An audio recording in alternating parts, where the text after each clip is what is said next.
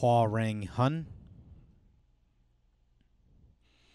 From Chimbi position, bring both hands out to the side, open hand, left foot out, bring all together slowly. Hands should rest in front of your belt knot, left hand on top. Step out to the left, right arm should be out. Slow left pushing palm block, followed by two punches, right then left. Look to the right, shift into a back stance, twin outer forearm block, followed by an upwards punch. Shift back and lunge forward in a fixed back stance punch, sliding back, bring hand down in a downward knife hand strike. Step out in a front stance, middle punch. Bring left foot back, step out into a front stance, low block. Step forward into a front stance, middle punch.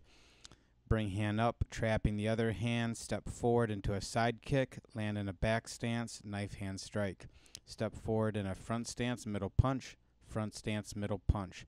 Look to the right, spin to the left, back stance, knife hand guarding block. Step out into a front stance, spear finger thrust, followed by a half step, turn into a back stance, knife hand guarding block, followed by a right leg roundhouse, left leg roundhouse, land in a back stance, knife hand guarding block.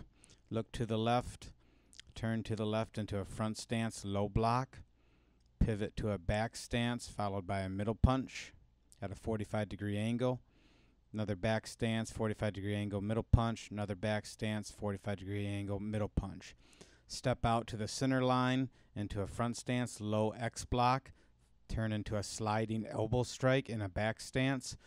Pivot both feet together to the left, followed by an inner forearm low block combination. Step out into a back stance, knife hand guarding block. Chamber, back stance, knife hand guarding block. Kihap. Bring feet together, return to ready position.